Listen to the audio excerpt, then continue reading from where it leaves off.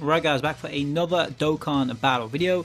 And today uh, we'll be taking on the Ultimate Red Zone. This is the second stage of the GT edition against, uh, I don't know if it's pronounced Lud or Lude. Uh, we're just going to call it Baby Guy. So there are two phases to this one. Uh, there's a physical phase, which is this primary phase.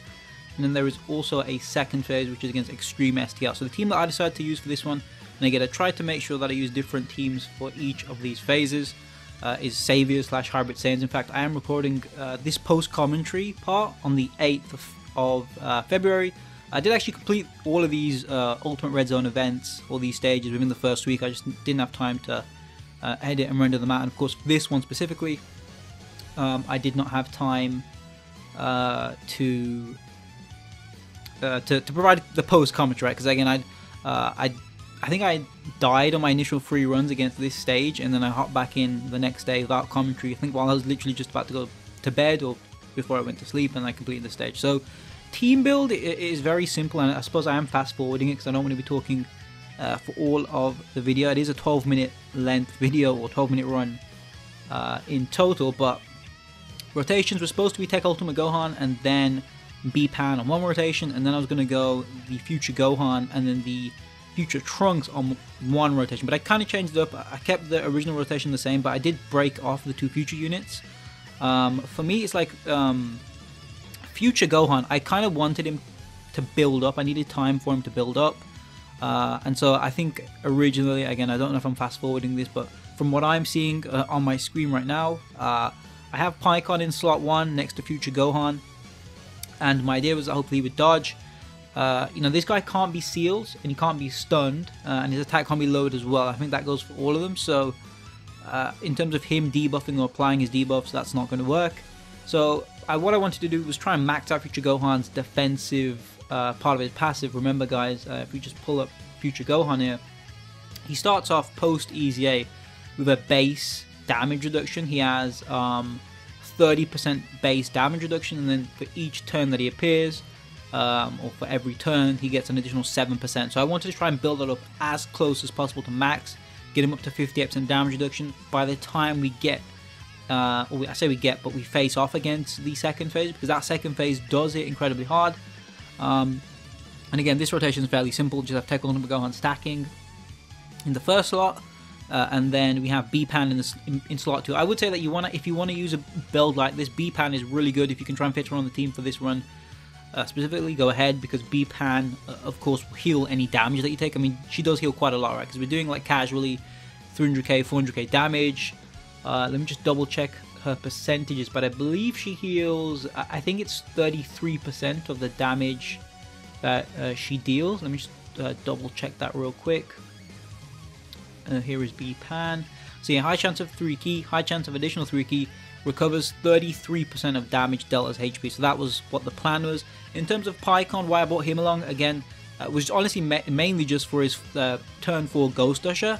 Uh, I wasn't trying to go for a no item run, although coincidentally all four of these runs that I've completed thus far have been no item. And you know, as of today, uh, February the 8th, the EZAs, the four EZAs, the God Goku, God Vegeta, Dokkan Fest, um, Dokkan Fest Omega and Dokkan Fest SS4 Gogeta, their EZAs have been announced, as well as the Part 2 free-to-play Dokkan Awakenings, as well as the stages 3 and 4 of the Ultimate Red Zone event. So I did actually pop uh, Pikkon's active here.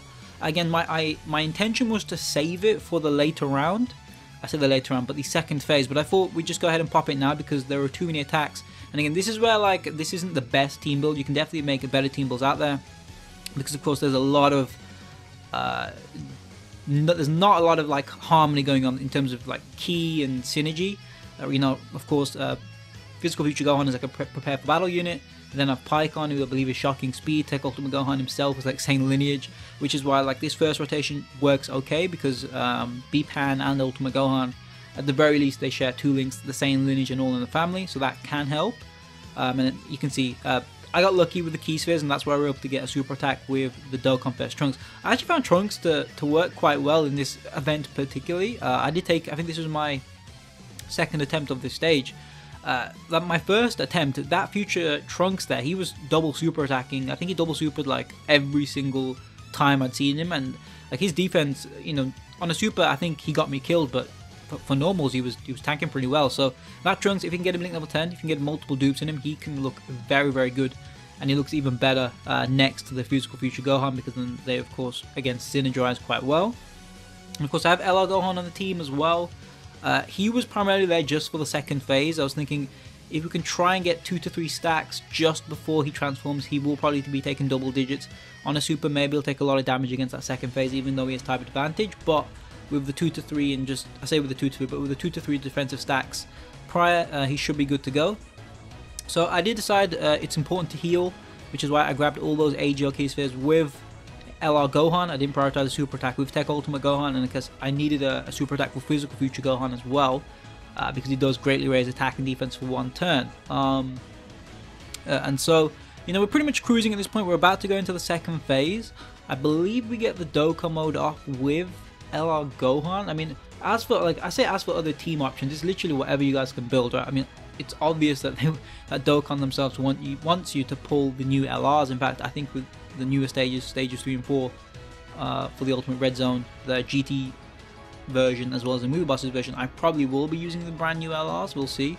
Um, but if I can't, I'm to try not to because I, I want to try and uh, pretend as if I don't have it. Oh, I have it. I want to pretend as if I don't have the uh, new LRs because of course they are designed to take down this stage very comfortably with their one turn guard and then you transform like turn 4 and then their damage gets ludicrous.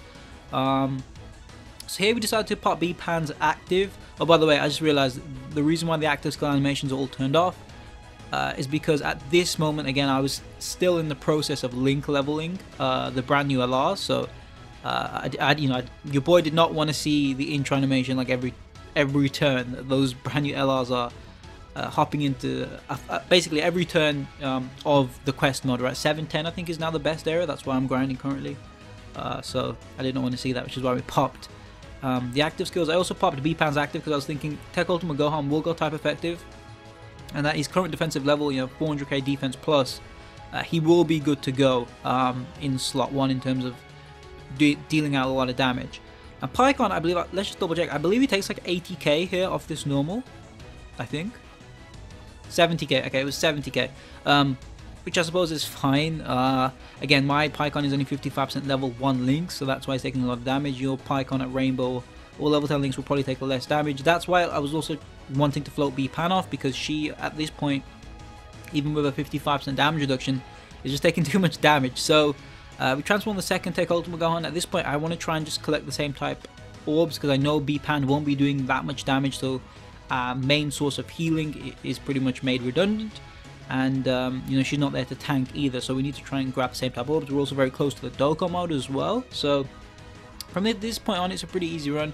I would say if you guys ever if you guys are struggling with these events you probably just want to rock hybrid Saiyan because they're very good defensively right we have like Tech Ultimate Gohan is really good that STR um, Super Saiyan Trunks the hybrid support unit is pretty good if you can run him alongside a youth Gohan you have like the the future Gohan and Trunks who's a pretty good unit um, what else I believe is that unit on there? The one who got an EZA recently? The Tech.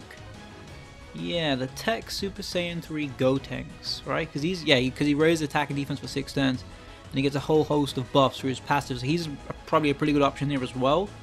Um, but I think mainly you just want to try and build the team to, to counter the, the, the typings, right? So the second phase is STR, maybe you want to include a few AGL units in here, and then of course the first phase is physical, so maybe you want to include a few STR units. So Thank you guys for watching. I think at this point, we're 9 minutes into the video, I might just speed up the footage. And um, yeah, I do believe at the end of the video, I do, do go over dupe system investment, so feel free to look at that. I think I've got... Actually, no, I was going to say, I think we've got one more stage to, to go through, but no, this is literally the final stage, and up until we get the new stages. Uh, I'm going to try and, I think, release these over the next few days before we get stage 3 and stage 4. Thank you guys for watching. Let me know what you guys think. Catch you next one. Peace.